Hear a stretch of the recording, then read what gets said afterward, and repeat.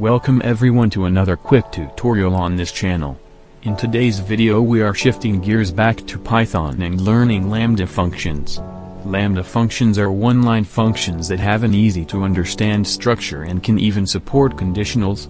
The purpose of Lambda functions are to make your code concise and save space in your work area. To begin, the simple structure of a Lambda function is first the function name and you set it equal to the keyword Lambda. Then comes your parameters that you set the name for.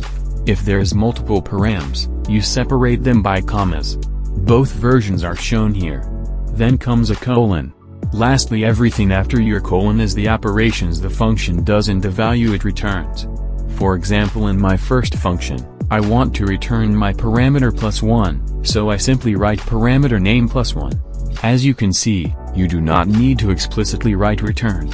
Similarly, in my sum function, I want to return x plus y, so I just write x plus y. Now, you call this function as you call regular functions with function name and then parentheses and then your parameters.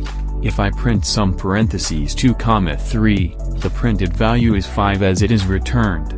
Next, on the more complex end, to add conditionals the process is a little different. Now here I am going to create a max function that takes two values and compares them while returning the greater number. After the colon, first comes what is returned if your condition that you are going to set is true. So I will return x, and then comes my condition which is if x is greater than y. Now to add an else option, I write else y, which means that if x is not greater than y, return y. Testing this function, you can see that it works perfectly.